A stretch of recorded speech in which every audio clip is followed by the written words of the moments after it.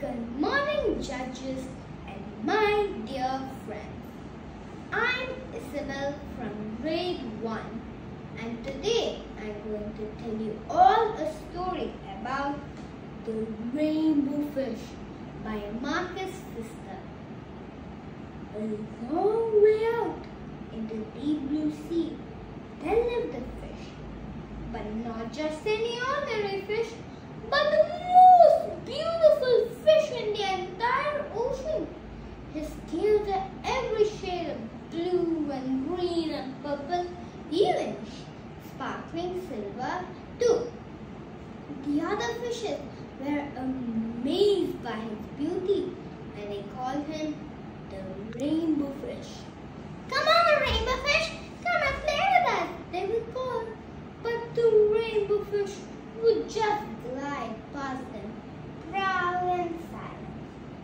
One day, a little blue fish followed the rainbow fish and asked him, Rainbow fish, can you please give me one of your shiny scales? You want me to give you one of my shiny scales? Who do you think you are? Get away from here. The, replied the rainbow fish. The little blue fish was shocked and he swam away. He felt so sad and he told all his friends what had happened. From that day on, no one had anything to do with the rainbow fish. And now he was the loneliest fish in the entire ocean.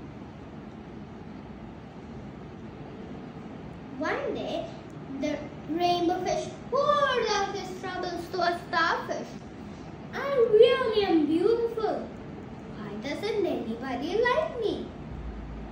Hmm, I can't answer that for you.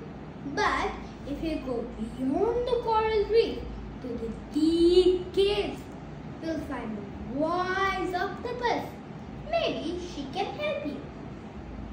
The rainbow fish had found the caves. It was too dark inside. He couldn't see anything. Then the octopus emerged from the darkness. I've been waiting for you. The waves have told me your story. My advice to you is give a shimmery scale to all the fishes. You may not be the most beautiful fish in the entire ocean, but you will discover how to be happy. Give away my scales, my beautiful shiny scales. Never. How can I be happy without them? Before he could see all this, the octopus vanished. Then the rainbow fish felt a light touch of a fin. The little blue fish was back. Rainbow fish, please don't be angry. I just want one of your shiny scales. Rainbow fish thought. Hmm, only one very small shimmery scale. Maybe I wouldn't just miss one. Carefully, pulled out the small shimmery scale and gave it to the little blue fish. Thank you, thank you very much, rainbow fish. Then rather a strange feeling came over the rainbow fish. The little blue fish whizzed through the ocean with its shimmery scale. And it didn't take long before the rainbow fish was surrounded by the other fishes. They all wanted the shimmery scale, of course. The rainbow scales left and right, and the more he gave, the more delighted he became. As the water around him was filled with shimmery scales, the rainbow fish fell at home with the other fishes. Finally, the rainbow fish had only one shimmery scale left. Yet he was very happy.